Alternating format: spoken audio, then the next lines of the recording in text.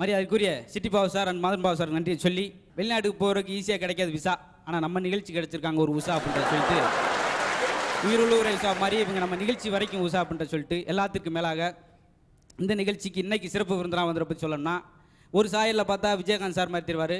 இன்னொரு சாயலில் பார்த்தா ரஜினிகாந்த் சார் மாதிரி தெரிவார். நடிக்க மாட்டார் இயல்பாக அந்த கதாபாத்திரமே வாழ்வார். அதுக்கு உதாரணம் தான் பருத்தி வீரன் நடிக்காமல் இயல்பாகவே வாழ்ந்த இயல்பான நடிகர் மரியாதைக்குரிய சரவணன் சார் அவர்களை வருக வருன்னு வரவேற்று விட்டு நிகழ்ச்சிக்குள்ள போகிறோம் நண்பர்களே அற்புதமான விஷயம். இன்னைக்கு வந்து ஏன் சிரிக்கணும் அப்படின்னு சொல்லி தொடர்ச்சி அந்த அளவுக்கு வேறுனா இன்னைக்கு மக்களுக்கு தேவைப்படுன்றனால. நீங்கள் நல்லா பார்த்தீங்கன்னா தெரியும். ஆம்சன்ட்ராங் ஒரு பெரிய நகரத்தில் ஒரு ஆராய்ச்சி அதாவது சித்த வைத்தியசாலை வச்சு சொன்னாங்க. எப்படி உடல் ஆரோக்கியத்துக்கு ஹோமியோபதி அனோமதி இருக்கோ அதே மாதிரி ஹியூமரோபதி அப்படின்னு சொல்லிட்டு நகைச்சுவாளரை பேச விட்டு சோக்கை போட்டுறனால என்ன கிடைக்குது அப்படின்னா அவங்களுடைய உடல் சோர்வு போய் ஒரு மனுஷனுக்கு உள்ள சோர்வு போய் பெப்டிக் அல்சர்னு சொல்லக்கூடிய அந்த மாதிரி குணம் நோயெல்லாம் குணமாகி நரம்பு தளர்ச்சி போன்ற ஏகப்பட்ட நோய்கள் அதன் மூலம் குணமாகுது அப்படின்றனால இன்றைக்கி தேவை. ஏன்னா இன்னைக்கு ஹாஸ்பிட்டலில் உள்ளவனை எழுபத்தஞ்சு சதவீத பேர் ஆராய்ச்சி பண்ணி பார்த்தா அவன் நோயினால் அவதிப்படலை. மன உளைச்சல் மனக்கவலையினால தான் அந்த நோய்க்கு ஆளானேன் அப்படின்றனால அதை போக்குறதுக்கு என்ன ஒரே வழி அப்படின்னு ஆராய்ச்சி பண்ணி முடிவில் அதுக்கு வாய் விட்டு சிரிக்கிற தவிர வேறு வழி இல்லை அப்படின்னு சொல்லி அந்த தீர்ப்பில் வந்துச்சு. அந்த மாதிரி இன்னைக்கு நகைச்சு மக்கள் தேவைப்படுறனால அந்த நிகழ்ச்சியை கொண்டு போய்கிட்டு இருக்கோம். வேற ஒன்றும் இந்த பெருசாலாம் சொல்ல வேணாம். நம்ம ஆள்கிட்ட உள்ள காமெடி மாதிரி வேறு எங்கேயும் நீங்கள் பார்க்க வேணாம். அதுவும் பொதுவாக இந்திய மக்கள்கிட்ட எப்பவுமே யாரும் ஒப்பிட்டு பாருங்களேன் நம்ம ஆள் மட்டும் தனியாக நிற்பார் ஒரு இது மாதிரி ஆராய்ச்சிக்கு வெளிநாட்டுக்கு வந்து சந்திர மண்டலத்துக்கு ஆள் அனுப்பணும். ஒரு வேளை போனால் திரும்ப முடியாது அப்படி ஒரு இது. ஆனால் யார் போவேன்? முடியாது. ஜப்பான் நாட்டுக்காரன் கூப்பிட்டு நீங்கள் போகிறீங்களா அப்படின்னு. நான் போகிறேன் ஆனால் எனக்கு ஒரு கோடி ரூபா வேணும். அப்படின்னு. எதுக்கு அப்படின்னு. நான் ஒரு வேளை செத்துக்கிட்டு போயிட்டேன்னா என் குடும்பத்துக்கு அதை கொடுக்க. அப்படின்னு. ரஷ்யாக்கா நீ போறியா அப்படின்னு. நான் நான் வேணா போகிறேன் அப்படின்னு. எவ்வளோ வேணும்? அப்படின்னு. எனக்கு ரெண்டு கோடி ரூபா வேணும். அப்படின்னு. என்ன பெரிய விதண்டவாதமாக இருக்குது எதுக்கு ரெண்டு கோடி? அப்படின்னு. ஒன்று என் குடும்பத்துக்கு இன்னொன்று ஒரு கோடி வந்து எங்கள் அப்பா அம்மாவுக்கு. சரி பரவாயில்ல. அடுத்து நம்மளை கூப்பிட்டாங்க. நீ போறியா அப்போ? நான் போகிறேன் ஆனால் மூணு கோடி வேணும் அப்படின்னா. இல்லை எல்லாரும் தூக்கி சாப்பிட்றோம் மூணு கோடி எதுக்கியா? சம்ம என்ன கணக்கு வழக்கு சொல்லு அப்படின்னு ஒரு கோடி என் குடும்பத்துக்கு. சரி ஒரு கோடி எங்கள் அப்பா அம்மாவுக்கு. சரி இன்னொரு கோடி வந்து அந்த ஒரு கோடி கொடுத்தா போகிறோன்னு நம்பர் ஜப்பான்காரன் அவனை கொடுத்து அவனை அனுப்பி விட்டோம்னா அம்மாட்டி பிரச்சனை இல்லாமல் இருக்கு அப்படின்னு சொல்லி. அதாவது அடுத்தால் அதுக்கு எதுக்குவேன் என்னென்ன அநியாயம்ன்றீங்க? இதை விட நீ பெரிய நகைச்சுவை வேணும் அதனால் இயல்பாகவே நம்மகிட்ட இருக்கும். அதுலேயும் வேற குணம் இருக்கும் ஒரு ஒரு சின்ன விஷயம் சொல்கிறேன் பாருங்களேன். எல்லா நாட்டு ஆள்களும் அப்படி காட்டு வழியாக போய்கிட்டு இருந்தாங்க. மாநாட்டுக்கு. அப்போ பார்த்தீங்கன்னா அங்கிட்டு ஒரு பன்னிக்குட்டி ஒரு பத்து பன்னிக்குட்டி கட்டி கிடந்துச்சு ஒரு மரத்தில். பக்கத்தில் போகும்போது அப்படி ஒரு சுமல். என்ன இது? அப்படின்றார் நான் போய் பார்க்குறேனே அப்படின்னு சொல்லிட்டு வேகமாக போனார். ஒரு பத்தடிக்கு மேலே ஆள் அந்தால போகல குடலை பெருட்டிருச்சு. மனுஷன் ஓடியாந்துட்டேன் ஐயா நான் போக முடியாது. ஆள் செத்து புரியும் போல. வந்துட்டார். நான் போகிறேன்னு சொல்லி இங்கிலாந்துக்காரன். அவன் போய் பார்த்தேன் அவன் ஒரு பதினஞ்சு அடி வரைக்கும் போயிட்டான். அதுக்கு மேலே போகல அப்படி மூக்கை பிடிச்சிட்டு ஓடியான்ட்டார் என்னங்க இப்படி ஒரு சுமல்? பக்கத்திலே போகல அப்படின்னு இப்போ கூட இழிச்சா பிள்ளை நான் போகிறேன் பாரு அப்படின்னு சொல்லிட்டு நம்மால் போனார். விறுவிறுன்னு போனார் பண்ணிக்கிட்டு ராத்துட்டு ஓடி போயிடுச்சு இவங்கிட்ட அப்படி ஒரு கெட்ட வார்த்தை. என்ன ஆகும் பாருங்க கொடுமை. அப்படி இப்படியும் ஆள் இருப்பான் திணற வைப்பாங்க ஒரு நேரம் அவங்க செயல் அவங்க பேசணும் அவசியமே இல்லை. அவங்க பண்ணுற செயலை நம்மளை அந்த மாதிரி ஆக்கும். ஏ விடா கொண்டே குடா கொண்டேன்னு சொல்லுவாங்க அந்த காலத்தில். ஒருத்தர் இதை ஒருத்தர் விடாமல் அடிக்கிறது. அது சாதாரண நடக்கும். எப்படின்னா இப்போ கிராமத்துலேருந்து ஒரு ஆள் வேலை கட்டு டவுனுக்கு போனார். பஸ்ஸில் இறங்கி போனாலும் ஒரே களைப்பு வெயில் பசிக்குது அப்படின்னு சொல்லி ஒரு புளியோரம் இருக்கா ஐயா இல்லை. என்னதான் இருக்குது அப்படின்னு. அவிச்ச முட்டை இருக்கு அப்படின்னு. சரி ஒன்று கொடுங்க அப்படின்னு சொல்லி வாங்கி சாப்பிட்டார். சாப்பிட்டுட்டு தண்ணியை குடிச்சிட்டு எவ்வளோ ஆச்சு அப்படின்னு? அறுபது ரூபா அப்படின்னு. ஏழை பாவி நான் ஒரு அவிச்ச முட்டை தானே சாப்பிட்டேன். அதுக்கு போய் அறுபது ரூபான்னு சொல்கிறேன் நிறுத்து. இந்த அவிச்ச முட்டையை நான் அவிக்காமல் கோழிக்கு அடப்படுத்து வச்சு அது குஞ்சு பொறுக்கி வச்சு அது கோழி ஆக்குனா கோழி எவ்வளோ அறுபது ரூபா. கோழி ஆக்காமல் உனக்கு அவிச்சு கொடுத்தேன் பாரு. அதுக்கு தான்டா அந்த அது. அறுபது ரூபா அப்படின்னு யோசிச்சேன். யோசிச்சா பைக்குள்ள இருந்து இந்த நம்மால் கிராமத்தாள் ஒரு புளிய மரத்து விதையை எடுத்து கொடுத்தேன். அது அவிஞ்சு போயிருச்சு. என்னையா பண்ணு? வச்சுட்டு மீதி சில்லறையை கூட அப்படின்னு ஏன்னா புளியோதரை கொடுத்து சில்லறையை கொடுத்துட்டார் ஆமாம் இதை நான் மரமாக்கியிருந்தேன்னா அது எவ்வளோ ஒரு மரமாக வந்து எவ்வளோ ஒரு புளியங்காயை காய்ச்சிருக்கும். அதெல்லாம் ஆகக்கூடாதுன்னு சொல்லிட்டு நான் கொடுத்துல. புளிய மரம் வந்து அறநூறுவாய்க்கு புளிய மரம் போயிருக்கும். அறுபது ரூபாய் எடுத்துக்கு மீட்டு ஐநூற்றி நாற்பது ரூபாய் கூட பண்ணிருக்கான். அந்த தட்டு சட்டு எனக்கு கடையை வேணாம் கொடுத்து குடும்பம் போயிட்டு இந்த விலங்கு எல்லாம் சிரிக்காது சிரிக்கலை அப்படின்னு சொல்லுவான். அது உண்மையிலே சிரிக்க வேணாம். ஏன்னா அதை அதை வச்சு நம்ம சிரிக்கிறோம். அது பயங்கரமாக இருக்குது அன்றைக்கி மூணு எலிக்குட்டி. சின்ன சின்ன எலிகளாக மூணு எலிகளும் பேசியிருக்கு. பெரிய வீராப்பா. அந்த அடக்குவார் மரத்தூள். அம்மா அவ்வளோ பெரிய மரத்தை அரை மணி நேரத்தில் கடிச்சு திண்டு விட்டேன் அப்படின்னு. அடுத்து ரெண்டாவது எலி பாச்சு இது என்ன பெரிய விஷயம்? நேற்று முதலாளி அம்மா ஒரு கரண்டியை கொண்டு ஓங்கி எரிஞ்சு இரும்பு கரண்டியை அப்படியே டக்குன்னு கேச்சு பிடிச்சி அதை கடிச்சு பத்து நிமிஷம் திண்டு விட்டேன் அப்படின்னு இப்போ மூணாவது எலி. இது என்னடா பெரிய விஷயம்? அந்த அப்போதில் பூனை ஆமாம் நிறமாதமாக இருக்குது அது காரணம் நான் தான் அப்படின்னு இருக்கு.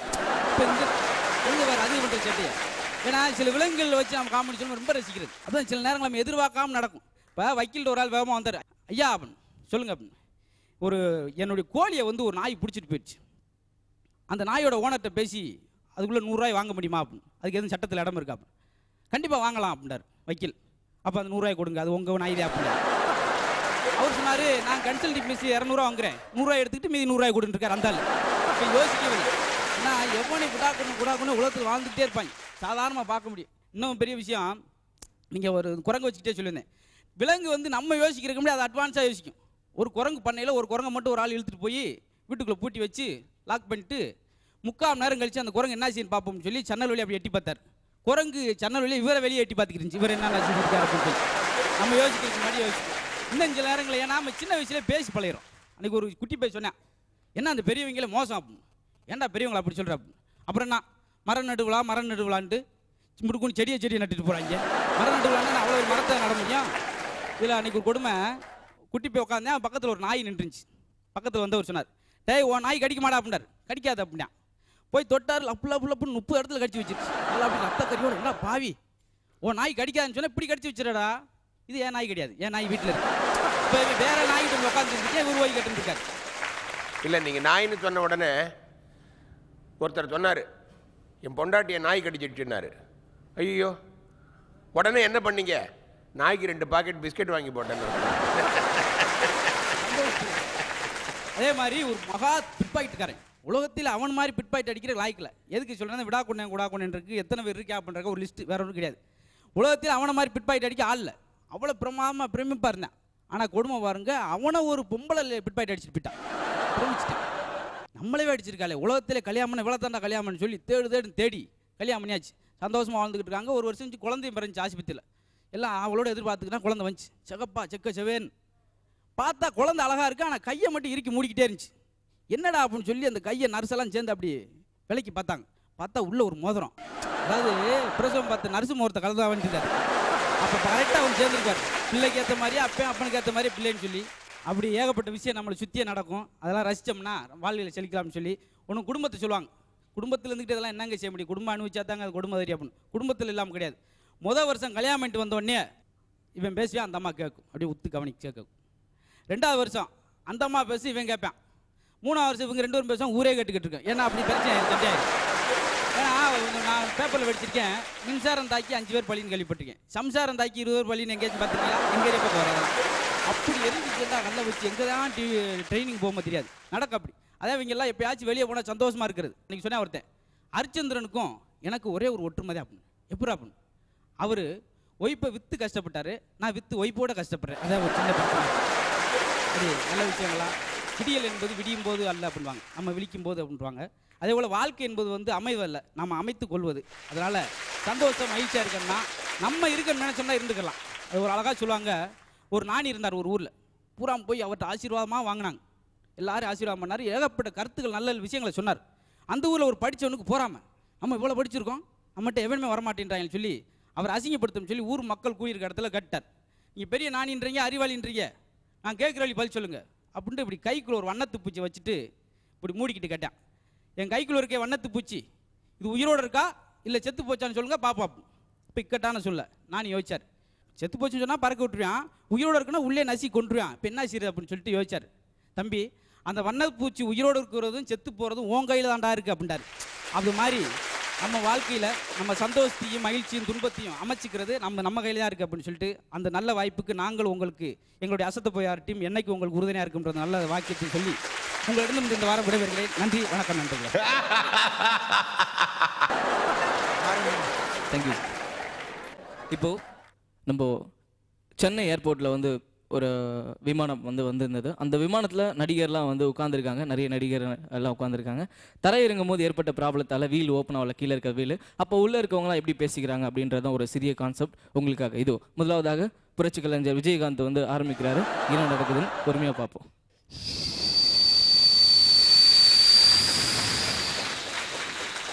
இது பாருங்க மிஸ்டர் எல்லாம் சைலண்டா இருக்கு. இன்னும் கொஞ்ச நேரத்துல ஃபிளைட் கட் ஆக போகுது. ஆனா டயர் வந்து விட்டு போச்சு. அதுக்கு என்ன பண்ண தெரியாத விழிச்சிட்டு இருக்கோம். இப்போ பக்கத்துல ஒருத்தர் இருக்காரு. அவர் என்ன பண்ண சொல்லுவார்?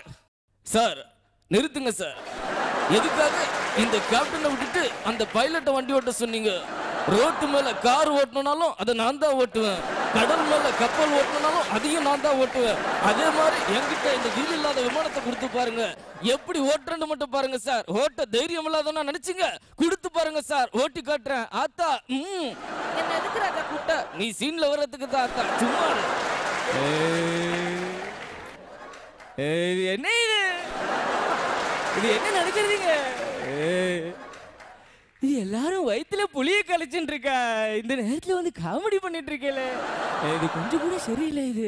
இது என்ன இறக்கி விட்டுருக்கோ. இதை நான் அதுக்கு தான் அப்பவே ஃப்ளைட்ல வர மாட்டேன்னு சொன்னேன் முடியல. ஏ பங்கஜம் அண்ணே. அண்ணே. அட என்ன நாயே? இங்க என்னண்ணே சலசலப்பு நடக்குது? டேய் எல்லாரையும் சொர்க்கத்துக்கு கூட்டு போறாங்கடா. அண்ணே நான் அதுக்கு டிக்கெட் எடுக்கலையானே டேய் நீ டிக்கெட் எடுக்கலனாலும் பரவாயில்ல ராஜா. சொர்க்கத்துக்கு கண்டிப்பா எல்லாம் போத போறோம். கம்முன்னு உக்காரு. அட பாவீங்களா?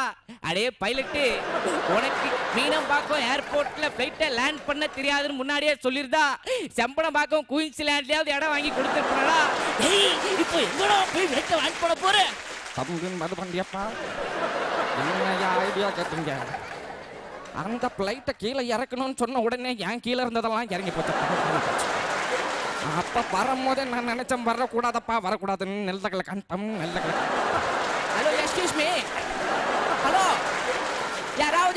மிரர் கீழே விழுந்ததை பார்த்தீங்களா சார் நான் ஃப்ளைட்டுக்குள்ளே ஏறும்போது என் பருவதம் சொன்னா சென்னைக்கு போகும்போது சென்னாவை சாப்பிடாதீங்கன்னு சொன்னா ஆனால் நான் அது பேச்சை கேட்காம சென்னாவை லைட்டாக டச் பண்ணிவிட்டேன் அதனால இப்போ சொத சொதன் ஆகிப்போச்சு இந்த ஏர் ஹோஸ்டிஸ்ட் ஏதோ சிகப்பு கலர் மருந்து கொடுத்தா குடிஞ்சு குடிஞ்சு வேலை பார்க்கும் போது அதையே பார்த்துக்கிட்டு இருந்த என்னால் கண்ணாடி எங்கே இருக்குன்னு பார்க்க முடியல மிஸ்டர் பிள்ளைவால் இந்த பயத்தில் எப்படி போகிறதுன்னு தெரியல. பக்கத்தில் யாரோ இருக்காங்க அவங்கள கேட்கலாம். ஐயா வணக்கம். எல்லாரும் அமைதியா இருக்கு இப்ப பிளைட்டை எப்படி லேண்ட் பண்றதுன்னு நான் சொல்றேன். நேரா கடற்கரைக்கு போவோம். பசிபிக் கடல்ல லேண்ட் பண்ணுங்க. இந்த மாதிரி நடக்கும்னு தெரிஞ்சுதான் ஒரு பத்து துடுப்பு கொண்டாந்துருக்கேன். அதை எடுத்து ஜன்னல்ல விட்டு குத்தி எல்லாரும் போலாமா போலாமா போலாமா. ஃப்ளைட் அப்படி தூரத்துல போயிட்டு இருக்குல்ல எல்லாரும் அவஸ்தைப்பட்டுக்கிட்டு இருக்காங்க. ஏதோ ஹெல்ப் பண்ணு ஸ்டெப்பு நல்லா நீ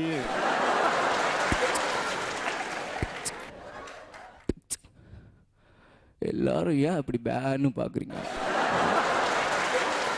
நான் மேலே போயிட்டேன்னா நான் மேலே தான் போயிருக்கேன். உங்கள் இதயத்தை விட்டு இன்னும் போகவே இல்லை. இது பார் யாரும் பயப்பட தேவையில்ல. நான் தான் போயிட்டேன் அப்படின்னு எல்லாரும் மறந்துருப்பீங்க. அதை ஞாபகப்படுத்துறதுக்காக தான் இவ்வளோ நேரம் நான் உள்ளே சும்மா விளையாடிட்டு இருந்தேன். புரியுதா? ஆவியாக வந்து விளையாடிட்டு இருந்தேன்னு சொல்ல வரேன். தேங்க்யூ பார்த்துமா பாய்